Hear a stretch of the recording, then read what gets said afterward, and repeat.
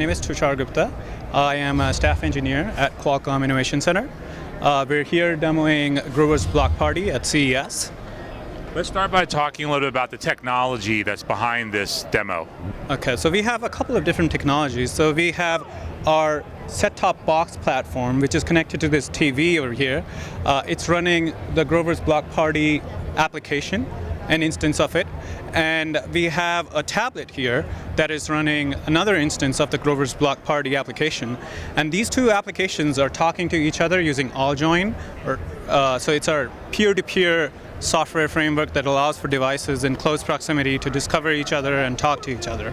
And then I have, uh, we're using Vuforia, our augmented reality platform, to recognize markers on the blocks, which are recognized on the tablets, and then Grover on the screen acts and reacts to whenever it sees something on the tablet screen.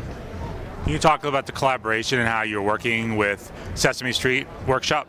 So uh, uh, we uh, we've been working with Sesame Workshop for a couple of demos. So last year at CES we had Abby's Fairy Rock demo, uh, uh and they, have been doing a great job uh, with building these applications for kids. And they so especially with this application, they did a lot of research about with kids from three-year-olds to five-year-olds on how they play with blocks and how they create words and how they form like overall block play and gameplay, they did a lot of research with kids, a lot of kids, and uh, uh, and it's been a uh, it's been a great it's been great working with them.